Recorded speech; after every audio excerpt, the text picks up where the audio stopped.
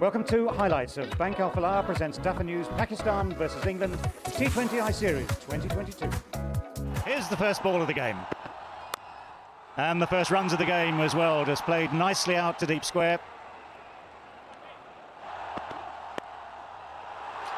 Tucked away through the onside. Two balls. Oh, that's a wide delivery. And that was travelling. No chance for the wicketkeeper to stop that one. Now there's the reputation as we knew it and as we now know it. Beautiful shot, beautiful shot, over the top and mid-off, couple of bounces. Oh, fabulous shot, he's got on, oh, what a catch! Slammed away. From Hales, he had to go long with by Dawid Malan.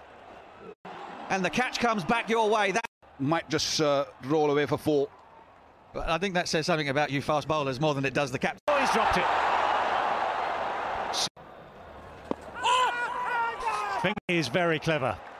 First ball of the over. That edge will fly very quickly. Races away for four. Again, two full. Dahani is trying. Hammered, absolutely hammered by Alex Hales.